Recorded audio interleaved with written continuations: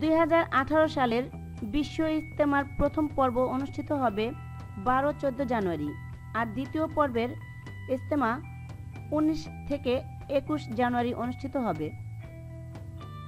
ইজতেমার প্রতি পর্বের শেষ দিন আখিরি মোনাজাত অনুষ্ঠিত হবে।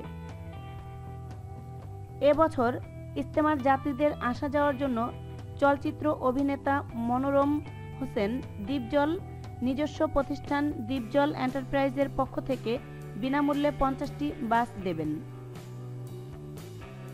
এ বিষয়ে মনোয়ার হোসেন দ্বীপজল মঙ্গলবার বিকেলে কালের কণ্ঠকে বলেন, আমি খুবই দুঃখিত যে এবছর আমাকে একসাথে আটষট্টিটি বাস বিক্রি করে দিতে হয়েছে।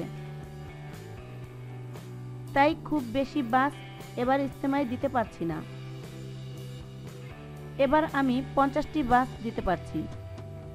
এজন্য আমার নিজের মন খারাপ। আরও বেশি বাস দিতে পারলে ভালো হতো। তিনি আরও বলেন, আপনাদের সকলের দোয়ায় এখন আমি ভালো আছি। আপনারা দোয়া করেছেন বলেই আল্লাহ আমাকে সুস্থ করেছেন। আমার সামর্থ্য অনুযায়ী আল্লাহর রাস্তায় যতটুকু সম্ভব কাজ করে যাব। আমি সব সময় আল্লাহর কাছে শুক্রিয়া আদায় করি। দেড় মাসের বেশি সময় ধরে সিঙ্গাপুরের মাউন্ট এলিজাবেথ হাসপাতালের চিকিৎসা শেষে নভেম্বরে দেশে ফেরেন দীপজল। এখন অনেকটাই সুস্থ আছেন জানিয়ে কালের কণ্ঠকে বলেন। আল্লাহ চেয়েছেন বলে আমি ভালো আছি। আমার জন্য সবাই দোয়া করবেন। উল্লেখ্য, এর আগের বিশ্ব ইজতেমায় মনোয়ার হোসেন দ্বীপজল একশো পঁচানব্বইটি বাস দিয়েছিলেন।